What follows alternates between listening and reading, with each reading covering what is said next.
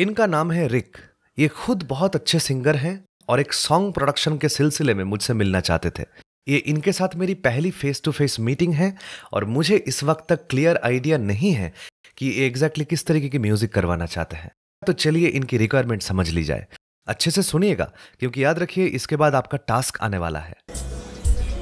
Sorry, bro, just got delayed. You know, just Bangalore to traffic, right? Are you comfortable? yeah, yeah, absolutely, absolutely. You can, we can just start right Actually. मैं अभी आपकी जो samples है ना मैं वही सुन रहा था and they are completely amazing. You like them? Yeah, I love them. अच्छा आ, कुछ कुछ खाना वाना मंगा ले? जूस वगैरह कुछ तो ले लो। नहीं नहीं नहीं अभी या no okay sure sure no problem आप आप मुझे जो आइडिया कॉल पे बोल रहे थे जरा यू नो उसके बारे में सुनते Yeah, हैं मेरा आइडिया कुछ ऐसा है कि अराउंड 2002 से 2015 तक जब और 2017 और रिसेंटली जो गाने आए थे कुछ मोहित चौहान के गाने हैं कुछ ए आर रहमान के कॉम्पोजिशंस हैं they were really really amazing and that कुछ साल पहले मैंने एक uh, वो जो होता है ना मैशअप तो मैंने मैशअप के बारे में बहुत सोचा तो मैंने इधर उधर से I picked up some songs okay in such a way that smoothly we can enter from one song to another without Oh. it, like, people understanding what it is actually going on. Alright, that's great. And now I have rearranged them in such a format that we can actually input one story, one love story. Alright. That starts on with a like you, you know today's love story. Okay, okay. Start on in a very you know catchy tone, and mm-hmm. mm. it goes on, it builds okay. up uh, from time to time. Okay. And then suddenly a mishap happens and the couple split. So that song has been rearranged in such a manner that the couples get split, and finally the out product like that okay. last song is one of my favorite songs from the film Wazir mm-hmm. that was uh, sung by Ankit Tiwari. Tu mere paas rehna. आधा मुझमें बाकी आधा है तू। दिल में कम है धड़कन यारा ज़्यादा है तू। क्या बात है? So this is what Yeah, precisely. Perfect. Hi. I mean, this is a brilliant idea because you are you are literally taking कि उसकी जो complete relationship है उस relationship को आप लेकर जा रहे हो uh, एक end से दूसरे end तक and you are just telling the entire story by songs you know that, exactly. that's what you're doing so that, Yeah. that, that's amazing man that's amazing I, I really love to work on this thing So the first song is uh, Ranchana. Okay. Ranchana's first part. आजा आजा दिल देगा राहें देखे Okay. this whole part we will do and then we will go on to that uh, voice भागी सी I mean like uh, we Okay. will get into like "Mm, आई मेरी सुबह हंसती हंसाती mm, mm, mm, mm, mm, mm, mm." and then we'll I'll go for like um like ah गुलाबी सी हवा लगन लागी रे तो से पिया के बलम केसरी हम्म, से पिया के लगन लागी रे तो से पिया के बलम Kesari and then we move on to रब्बा मैं तुम गया हुए which is something like, कोई दिल बेकाबू कर गया हाँ इश्का दिल में भर गया, आँखों आँखों में वो लाखों गल्ला कर गया ओए। और अब मैं तो गया should I मुझे कर गया कर गया and then we go on to आँखें मिलाओ which goes like something like um मान जा दिल दिगर, ठहर जा एक पल ले जा। चंद सुनी रातें सुबह, इनको मैं साथ लेके जावांगा मैं मोल ना घटावांगा मैं सौदा लेके जाना ना ना ना ना ना ना जग बतावांगा मैं। Then we go to Bairagi absolutely classic. And this is this is where the story ends. And finally we see the boy with a string with a piano completely alone with some kind of a drink. And he sings like the tu mere paas rehna one one stanza completely. This is the whole story how it that's that's how it is working right? Yeah. Fine cool. Okay so um,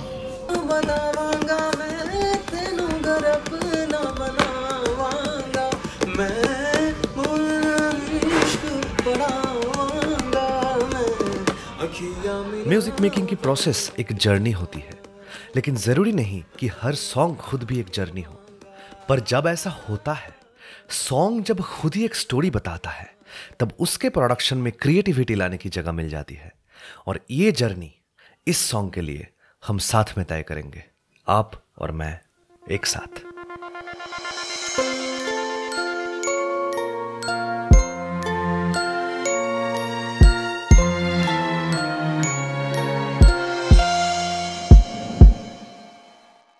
Bitclass एक training platform है जहाँ आपको अलग अलग topics पर live sessions attend करने को मिल जाते हैं। मल्टीपल ट्रेनर्स इस प्लेटफॉर्म पे अपने अपने सब्जेक्ट्स पर लाइव ट्रेनिंग प्रोवाइड करते हैं starting from arts music cooking money making and many more subjects क्योंकि यहाँ ट्रेनिंग लाइव चलती है, आपको अपने ट्रेनर से और बाकी स्टूडेंट्स से भी लाइव इंट्रोडक्शन और चैट भी करने को मिल जाएगी।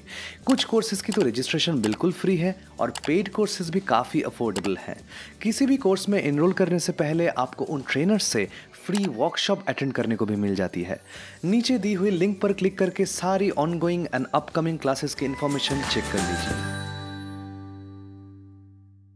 It is probably very early right now to talk about client handling क्योंकि लोगों को अक्सर ये लगता है कि क्लाइंट हैंडलिंग तो बहुत ही बाद की चीज़ है। पहले हम स्किल सेट तो हासिल कर ले स्किल को तो बिल्डअप कर ले। Just like that is true in one hand but on the other hand जब इंटर्नशिप्स लोग करने जाते हैं स्टूडियो में, मैंने जब खुद इंटर्नशिप किया था और मेरे अंडर भी जब लोग इंटर्नशिप करते हैं तो क्या होता है, उनको हम क्लाइंट मीट पे लेकर जाते हैं। I wanted to give you that experience क्योंकि वहाँ पे कपल ऑफ़ चीज़ें हैं जो आपको समझने को आती है, जो मैं नॉर्मली बोलूँगा तब समझ नहीं पाएँगे। लाइक क्या क्या इन्फॉर्मेशन आपको फ़र्स्ट मीट में लेनी चाहिए क्लाइंट से।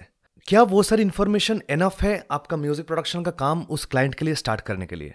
या फिर क्या आपको एक सेकंड मीट के लिए वेट करना चाहिए? अगर आप फ़र्स्ट एंड सेकंड दोनों मीट में उसको तोड़ रहे हैं तो सेकंड मीट में आपको क्या लेना चाहिए? ना all this things are extremely important skill set to build up क्योंकि अदरवाइज़ क्या होगा?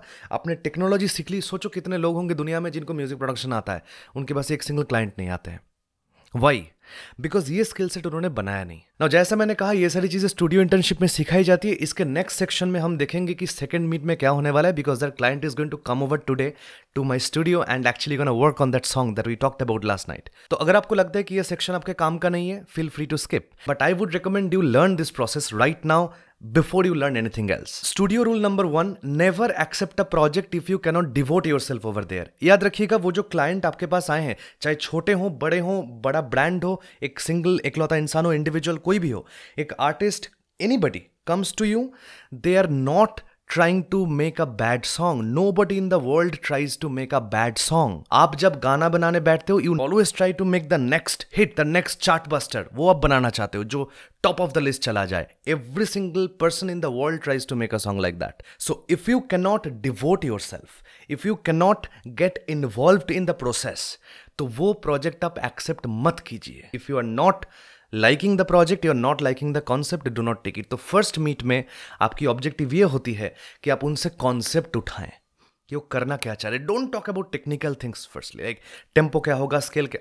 Will talk about that later just get the story first first meeting के दौरान आपको इंश्योर करना पड़ेगा कि आप अपने क्लाइंट के साथ और आपके क्लाइंट आपके साथ काम करने में कंफर्टेबल होंगे। और वहाँ पे आपने अगर नोटिस की कि मैंने जब क्लाइंट मीट की last night I did not meet him in the studio क्योंकि यहाँ पे चीज़ें टेक्निकल हो जाएगी। I met him in a restaurant जहाँ पे हमने उनके लिए ड्रिंक्स ऑर्डर की, जहाँ पे हम टेबल बजा करके गाना गाए। We just we just made the माहौल ओवर देयर ताकि क्लाइंट खुद को खोल के एक्सप्रेस कर पाए। दैट इज़ इंपॉर्टेंट क्योंकि अगर आप एक बहुत बड़ा स्टेटस मेंटेन करते हो क्लाइंट आपसे डरते हैं तो काम बिल्कुल नहीं हो पाएगा।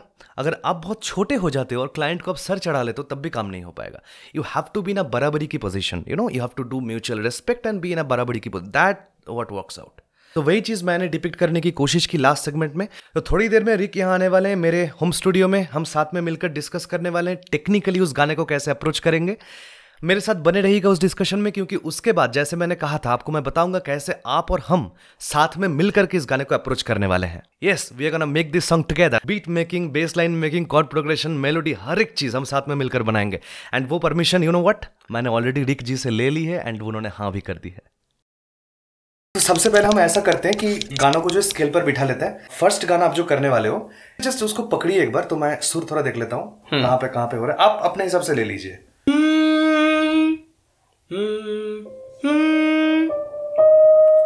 आजा आजा दिल दे शाम राहे देखे कोई। You comfortable in this one या आई एम कंफर्टेबल सबसे पहली जो चीज़ हमें देखनी पड़ती है वो है स्केल नाउ यहाँ पे इवन दो आर्टिस्ट ने मुझे बोला है कि डी शार्प बट आर्टिस्ट ने ये मेंशन नहीं किया कि डी शार्प मेजर है या फिर माइनर है।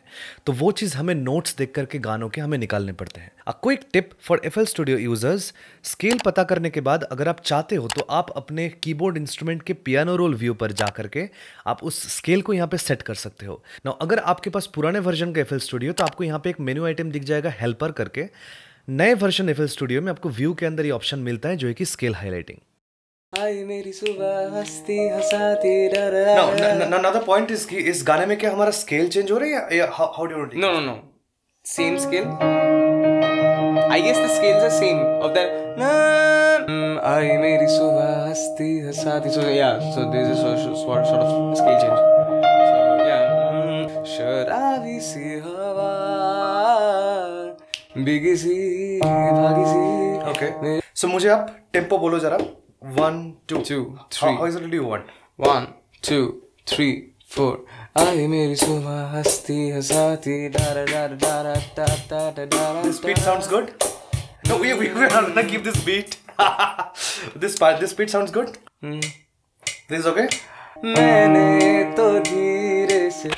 स्केल के बाद नेक्स्ट पैरामीटर होता है टेंपो टेंपो फाइंड आउट करने के लिए मैं अपने यामाहा कीबोर्ड पर टैप टेंपो बटन का इस्तेमाल किया। नो अगर आपके पास कीबोर्ड की सुविधा नहीं है तो आप उसी चीज़ को अचीव कर सकते हैं एफ़ स्टूडियो में टेंपो टैपर इस्तेमाल करके, जो कि ये वाला आइकॉन है।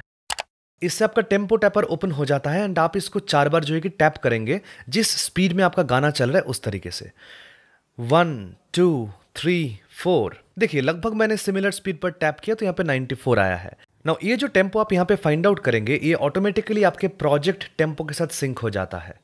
मैंने से नींदों के धागे से बांधा है ख्वाब को तेरे। So basically we are going with 93 BPM over here आपका जो है ये डी शार्प के स्केल पर जा रहा है and then according to the song have to figure out कि वो D sharp like like harmonium scale जो है वो डी शार्प है। हाँ that's the thing so need to figure out कि यू नो उसको कैसे क्या किया जाए।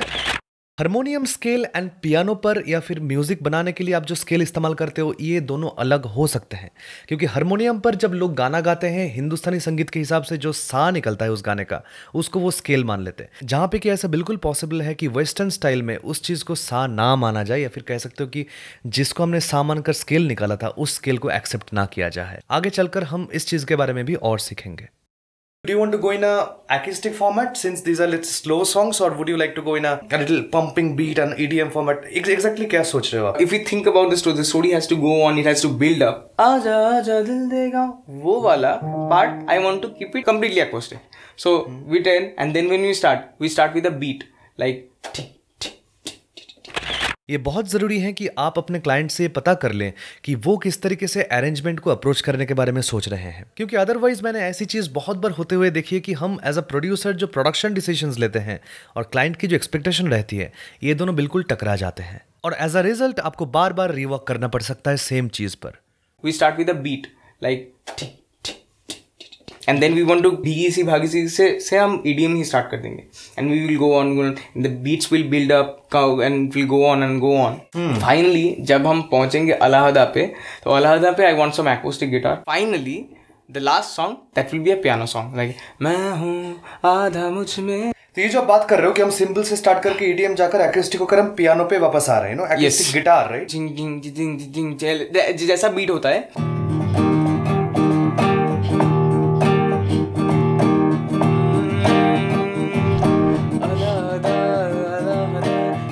शहर अलाहदा दे बगैर। यहाँ से बीट स्टार्ट करने। राइट गॉट इट तो हाफ़ आप उसको गिटार पे रख के यहाँ पे हम कहोन इस्तेमाल कर सकते ना? अरेंजमेंट के आइडिया से आता है इंस्ट्रूमेंट सिलेक्शन का idea instrument selection pre production process का एक अहम स्टेप होता है। हम डी सॉफ्टवेयर पर वर्चुअल इंस्ट्रूमेंट की पैलेट तैयार करते हैं। For example F L studio users के लिए आपने जो सारे इंस्ट्रूमेंट्स यूज़ करने का सोचा उन्हें चैनल लैग पर ले आकर बिठाना स्टार्ट कीजिए। इंस्ट्रूमेंट सिलेक्शन की प्रोसेस का आइडिया जितना क्लियर रहेगा उतनी ही आपकी प्रोडक्शन अप्रोच ईजी होती चलेगी। यहाँ पे हम कहोन इस्तेमाल कर सकते हैं ना? जो बैठ कर या या या का-. Good idea कहोन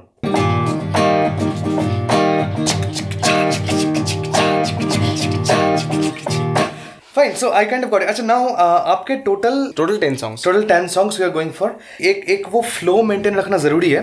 It should not be like कि भाई आपने तो मैशअप बोला था लेकिन आपने मुझे जो दिया है उसमें क्या कहते हैं जुक बॉक्स हो गया है। तो वो तो वो वो नहीं होना चाहिए ओवरऑल एक मैशअप का आइडियल लेंथ आपकी होती है जो नॉर्मली मान के चलिए four two five minutes max एक टिपिकल सॉन्ग का जो लेंथ होती है ना mashup should also finish within that time frame itself just that it has to Can we extend it to six or seven?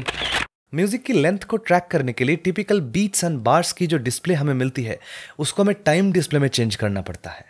However आपका production process usually beats and bars पे ही करना logical रहता है so remember to change it back to beats and bars display once again Can we extend it to six or seven? Six और seven minutes is fine now then we have to make the music amazingly good otherwise कोई stick नहीं करेगा जब तक वो अच्छा गाना चल रहा है तब तक तो लोग dance like they can dance they can you know okay that will be cheerful for the people and then the when the sad part comes in they'll will make them cry Okay, I'm gonna cry as a music producer right now. You have you have given me a list where you want a simple arrangement.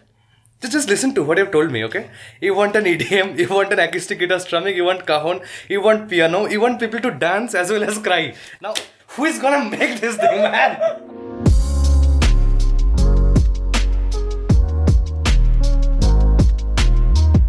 Alright तो आपके पास सारे गानों की list आ गई है and आपको लगभग पता चल गया है कि गाना कौन से स्किल पे आपका चल रहा है। Now the next thing you have to do is to actually go through each of the individual songs and फिर ये फिगर आउट करना पड़ेगा कि उनमें कॉर्ड्स क्या लगते हैं एंड क्या होता है एंड उनको लगभग एक सिमिलर यू नो स्केल पे लेकर बिठाना पड़ेगा। That is the next thing we have to now to figure out chords there are two things आपको वो स्किल सेट डेवलप करनी है जहाँ पे आप एक गाना सुन करके उसके कॉर्ड्स निकल पा रहे हो and that is a skill set जो कंटिन्यूस प्रैक्टिस के थ्रू ही आ सकती है। ना वो वाली स्किल सेट आपको बिल्डअप करनी ही करनी है there is no other option you cannot say भाई, मैं तो पियानो प्लेयर नहीं हूँ, मैं नहीं no no you you must do that thing उसके लिए आपको पियानो प्लेयर नहीं बनना है। आप सिंपली एफ़ एल को लेकर आ जाइए एंड यहाँ पे बैठ करके जो है कि प्ले कीजिए इसको। उसके लिए आपके पास मीडी कीबोर्ड की एक्चुअली ज़रूरत नहीं है। आप अपने कंप्यूटर कीबोर्ड को इस्तेमाल कर सकते हो। वो करने के लिए सबसे पहले यहाँ पे ये वाला आइकन ऑन कर दीजिए, ताकि टाइपिंग कीबोर्ड जो है अभी इस चीज़ को प्ले कर तो अगर आपको इस तरीके से कॉर्ड्स निकालना नहीं आता है तो उस केस में आप एक काम कर सकते हो। आप अपने ब्राउज़र पर चले जाइए एंड ब्राउज़र पर जाने के बाद उस पर्टिकुलर गाने को सर्च कीजिए। इसमें कोई भी वेबसाइट आप उठा लीजिए लगभग एंड फिर उसमें आप देखिए कि कॉर्ड्स क्या दिए हुए ये देखिए, लिखा हुआ है, आजा आजा दिल के गाँव इज़ आपका ई मेजर कॉर्ड नो आपको जो सिंगिंग करनी, जो प्रोडक्शन करना है, वो डी शार्प पे था। यानी कि अगर यहाँ पे ई लिखा हुआ है then we'll just hold the E आजा आजा, ये हो रहा है। लेकिन हमारे जो सिंगर हैं, उन्होंने कहा है डी शार्प पे करना है। तो इसको आप बेसिकली एक स्केल ट्रांसपोज कर लीजिए।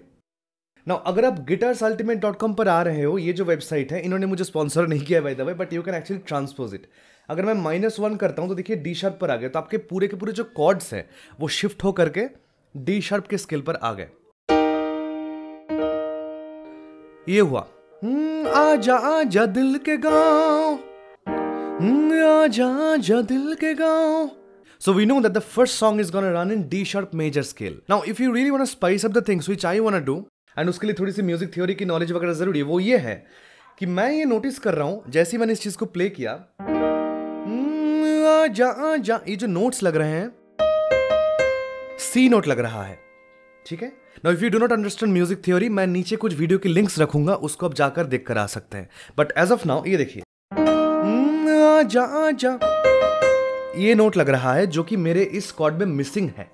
अगर मैं इसको डी शार्प मेजर स्केल लेता हूँ मेजर कॉर्ड लेता हूँ तो इवन दो ऑफिशियल वेबसाइट एक मुझे कह रही है कि डी शार्प मेजर मुझे लेना चाहिए मैं यहाँ पे सी नोट को भी इंक्लूड करूँगा मेरे डी शर्प मेजर में। यानी कि मैं जो कॉर्ड लेने वाला हूँ, वो D sharp major six chord लेने वाला हूँ। कुछ इस तरीके से। This is going to be my chord आजा आजा दिल के गाँव।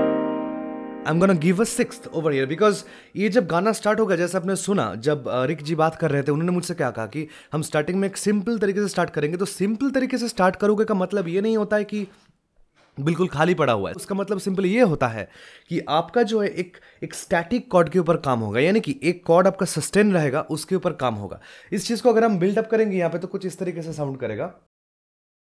ये आपका डी शार्प है तो डी शार्प जी एंड आपका बी फ्लैट यानी कि A sharp D sharp G A sharp and finally C and वापस एक डी शार्प ऊपर दे दीजिए। This is the chord you looking for आजा आजा दिल के this is what you looking for so ये आपका कॉर्ड बिल्डअप हुआ पहले गाने की पहली लाइन के लिए. ना इस तरीके से हमें कॉर्ड्स बिल्डअप करने पड़ेंगे।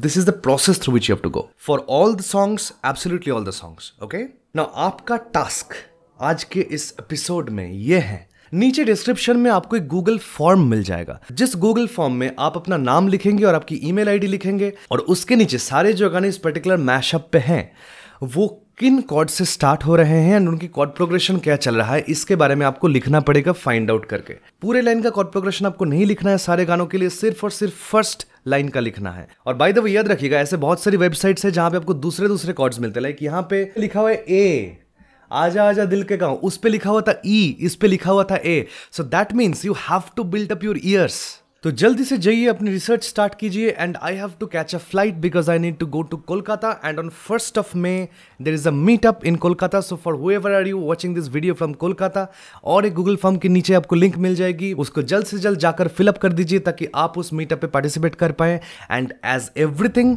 the meetup is also free of cost see you in Calcutta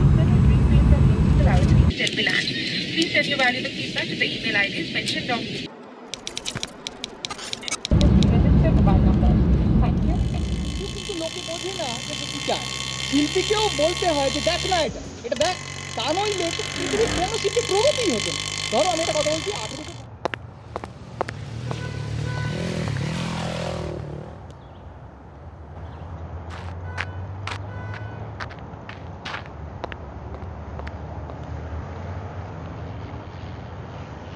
और बोलो भाई क्या लोगे no, no, no, I'm good. I'm good. Everything is fine. मैं ही पूछ रहा था कि वो um, um, um, how are you gonna start that thing? Did you get a chance to check that? देखो जो डॉक्यूमेंट जो तुमने भेजा था व्हाट्सएप से वो तो is absolutely So right that means this is the place. Almost अरे यार ऑलमोस्ट क्या तो देखो या तो है या तो नहीं देखो बहुत दूर से आया ऐसा मत करो अभी तो कैलकाटा पहुँचे हो इतने दिन बाद आए हो चलो एक बार कैलकाटा तो घूम लो actually you know I I don't have too much time I was actually you know चलो चलो चलो चलो देखते हैं You know, mainly in your I Siri, that, that song, I See. That, I Yeah, yes, exactly. That song. I